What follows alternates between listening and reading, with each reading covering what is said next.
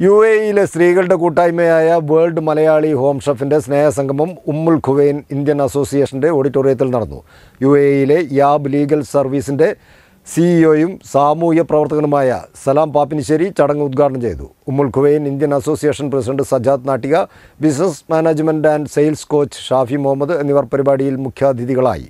വീട്ടമ്മമാരായ സ്ത്രീകളെ സമൂഹത്തിന്റെ മുഖ്യധാരയിലേക്ക് കൊണ്ടുവരുന്നതിനായി പ്രവർത്തിക്കുന്ന ഡബ്ല്യു എം എച്ച് സി ഇരുപത്തൊന്ന് രാജ്യങ്ങളിൽ നിന്നുള്ള മലയാളി സ്ത്രീകളുടെ കൂട്ടായ്മയാണ്. പരിപാടിയോടനുബന്ധിച്ച് കലാപരിപാടികൾ ഭക്ഷ്യമേള എന്നിവയും അരങ്ങേറി.